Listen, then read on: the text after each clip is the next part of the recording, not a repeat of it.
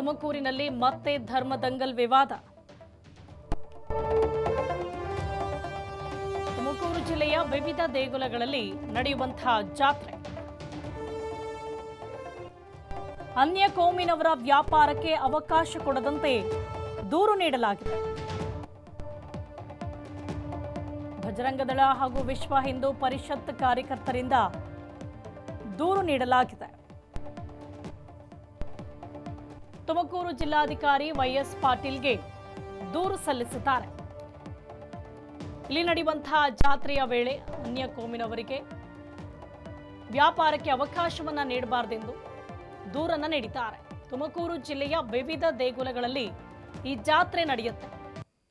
ಜಾತ್ರೆಯ ಸಂದರ್ಭದಲ್ಲಿ ವ್ಯಾಪಾರಕ್ಕೆ ಅನ್ಯ ಕೋಮಿನವರಿಗೆ ಯಾವುದೇ ಕಾರಣಕ್ಕೂ ಕೂಡ ಅವಕಾಶವನ್ನ ಕೊಡಬಾರದು ಅಂತ ಇಲ್ಲಿ ದೂರು ಸಲ್ಲಿಸಿದ್ದಾರೆ. ವಿವಿಧ ದೇಗುಲಗಳಲ್ಲಿ ನಡೆಯುವಂತಹ ಜಾತ್ರೆ ಇದು. ಅನ್ಯ ಕೋಮಿನವರ ವ್ಯಾಪಾರಕ್ಕೆ ಅವಕಾಶವನ್ನು ಕೊಡಬಾರದೆಂದು ದೂರು ನೀಡಿದ್ದಾರೆ. ತುಮಕೂರು ಜಿಲ್ಲಾಧಿಕಾರಿ ವೈಎಸ್ ಪಾಟೀಲ್ಗೆ ದೂರು ನೀಡಿದ್ದು, ತುಮಕೂರಿನಲ್ಲಿ ಮತ್ತೆ ಧರ್ಮದಂಗಲ್ ವಿವಾದ ಕಂಡು ಬರ್ತಾ ಇದೆ.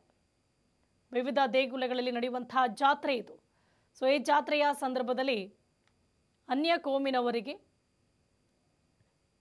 ವ್ಯಾಪಾರಕ್ಕೆ ಅವಕಾಶವನ್ನು ಕೊಡಬಾರದೆಂದು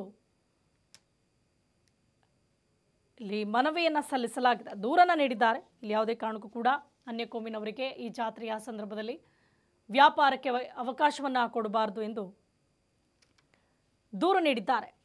ತುಮಕೂರು ಜಿಲ್ಲೆಯ ಬಜರಂಗದಳ ಹಾಗೂ ವಿಶ್ವ ಹಿಂದೂ ಪರಿಷತ್ ಕಾರ್ಯಕರ್ತರಿಂದ ನೀಡಿರುವಂತಹ ದೂರಿದು. ತುಮಕೂರು ಜಿಲ್ಲೆಯ ಗುಬ್ಬಿಶ್ರೀ ಶ್ರೀ ಚನ್ನಬಸವೇ, ಬಸವೇಶ್ವರ ಸ್ವಾಮಿ ಜಾತ್ರಾ ಮಹೋತ್ಸವ ಇದು. ಮಧುಗಿರಿ ಪಟ್ಟಣದ ದಂಡಿಮಾರಮ್ಮ, ದೇವರಾಯನ ದುರ್ಗದ ಯೋಗ ಮತ್ತು ಭೋಗ ನರಸಿಂಹ ಸ್ವಾಮಿಯ ಜಾತ್ರಾ ಮಹೋತ್ಸವ. ಅನ್ಯ ಕೋಮಿನವರಿಗೆ ವ್ಯಾಪಾರ ಮಾಡಲು ಅವಕಾಶ ಕೊಡದಂತೆ ದೂರು ನೀಡಿದ್ದು ಮುಜರಾಯಿ ವ್ಯಾಪ್ತಿಗೆ ಸೇರಿರುವ ದೇವಾಲಯದ ಆವರಣದಿಂದ ನೂರು ಮೀಟರ್ ಒಳಗೆ ಯಾವುದೇ ಅನ್ಯ ಕೋಮಿನವರು ವ್ಯಾಪಾರ ಮಾಡಬಾರದೆಂದು ದೂರಿನಲ್ಲಿ ಮನವಿ ಸಲ್ಲಿಸಿದ್ದಾರೆ.